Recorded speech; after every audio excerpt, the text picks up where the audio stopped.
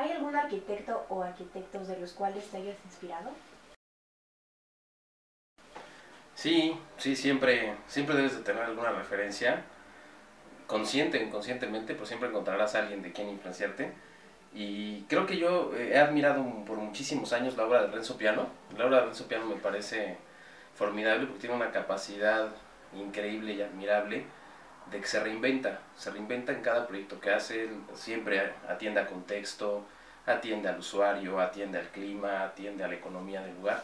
Entonces Renzo Piano para mí siempre ha sido una referencia en ese sentido, ¿no? que es muy parecido a lo que hacemos aquí en la oficina, que tratamos siempre de que el proyecto no tenga una línea directa estética, que seguimos una misma línea, sino al contrario, sino siempre tratamos de que la arquitectura se convierta en una expresión directa de los usos y costumbres, tradiciones, economía, sociedad, a donde va dirigida, ¿no? Entonces, pues Renzo Piano sí, sí ha sido una influencia importante para nosotros, ¿no? Me encantaría conocerlo, no tengo gusto de conocerlo, conozco su obra, su trabajo, y me parece padrísima, ¿no? Entonces Renzo Piano, sin lugar a dudas, me ha influenciado.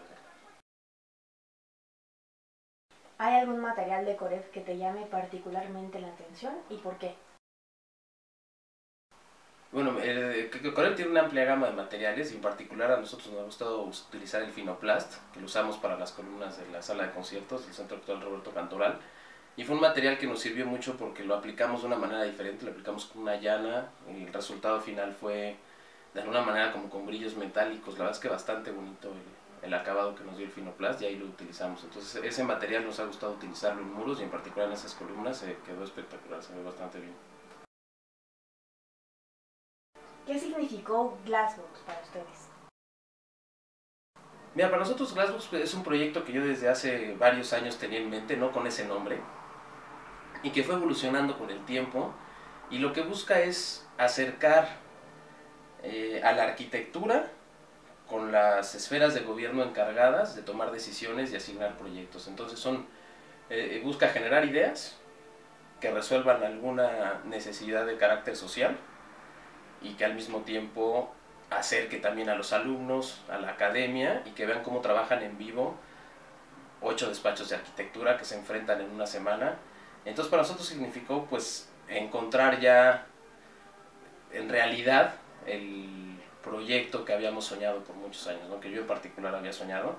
Entonces fue verlo ya materializado, fue muy bonito y ver realmente que los arquitectos se apasionaron con la misma idea que yo había tenido, que se apasionaban, que le entraron, que trabajaron 36 horas en un proyecto, en este caso fue seguridad pública, pues significó ya rematar eh, un, un, sueño que habíamos tenido, ¿no? que, que habíamos perseguido por mucho tiempo y que vamos a empezar a, que empezamos, eh, te repetiremos el próximo semestre, el primer año, el primer semestre del año que entra.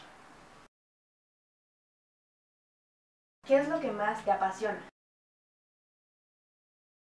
Eh, me apasiona mucho dar clases. Creo que la academia me ha apasionado. Llevo ya siete años, ocho años ya voy a cumplir dando clases. Esa parte me gusta muchísimo, acercarme a los muchachos, transmitirles lo mucho o poco que he aprendido yo en mi carrera. Creo que es la única manera en que realmente el ser humano puede crecer, la sociedad puede crecer, transmitiendo el conocimiento de generación en generación.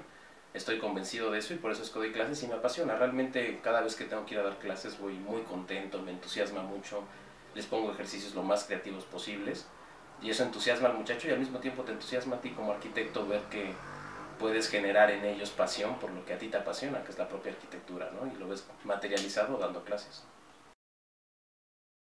Si pudieras decirle algo a los futuros arquitectos, ¿qué sería? Que crean en ellos. Yo creo que estamos en un país lleno de oportunidades, ¿no? Suena súper trillado, pero es la realidad.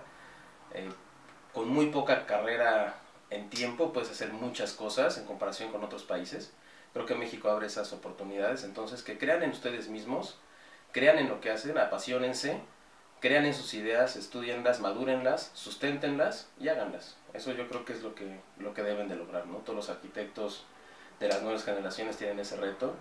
Prepárense, aprovechen el tiempo y pónganse una meta y cúmplanla, háganla.